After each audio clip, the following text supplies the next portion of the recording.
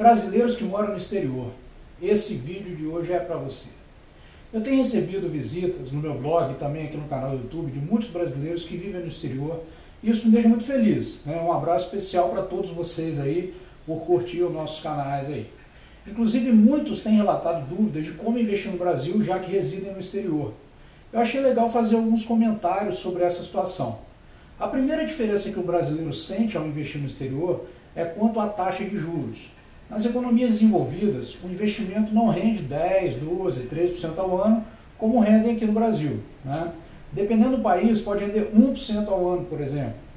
Então esse é um primeiro impacto que o investidor percebe. Daí, normalmente, né, quem mora fora pensa, nossa, mas então vou mandar meu dinheiro para o Brasil porque os juros lá são excelentes. Sim, isso é verdade. A gente vive numa realidade país em desenvolvimento, com maior risco, por isso, nossos juros precisam realmente ser maiores do que os praticados nos países desenvolvidos. Né? Isso é natural. Porém, um cuidado deve ser tomado, que é o risco cambial. Eu normalmente sugiro que investidores tenham investimentos nas mesmas moedas onde, onde pretendem consumir. Portanto, se existe aí com você um capital que você pode precisar no próprio país onde você reside, reside então deixe ele guardado por aí mesmo.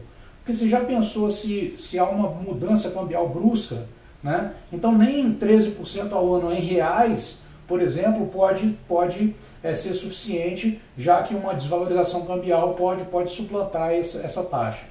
Porém, se você tem um plano de retornar em breve ou um plano de se aposentar no Brasil, por exemplo, não me parece um mau negócio você investir aqui e ir formando esse patrimônio ao longo do tempo, já que no futuro é nossa, na nossa moeda, que, o real, né, que você vai, vai utilizar para consumir.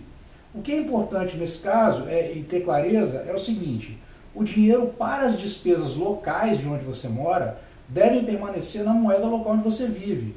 Dinheiro para acúmulo para o futuro, caso você realmente tenha plano de voltar a viver aqui no Brasil, pode ser aplicado por aqui, sem problemas. E como funciona a parte burocrática disso?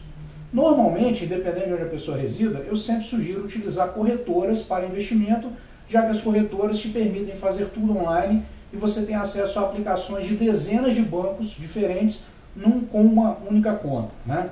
Assim, dentro da documentação que as corretoras exigem, você vai ter que ter uma conta bancária em seu CPF é, no Brasil e um comprovante de residência que pode ser em seu próprio nome, dos pais ou cônjuge ou companheiro, por exemplo. Né? Todo esse processo de cadastro e abertura de conta é feito normalmente online e você consegue ter o auxílio normalmente de fazer os seus investimentos utilizando uma conta de corretora mesmo residindo no exterior.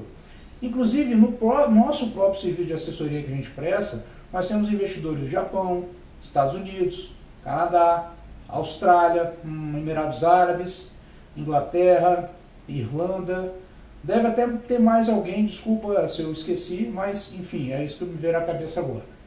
Então, se você é um brasileiro, reside no exterior, saiba que é perfeitamente possível fazer seus investimentos aqui no Brasil, com orientação e fazendo todas as operações online, assim como você vai poder acompanhar tudo graças à internet. Né? Então, novamente, um grande abraço a você que está no, no exterior e até o próximo vídeo, que agora eu tenho que atender um chat online aqui de um investidor. Beleza?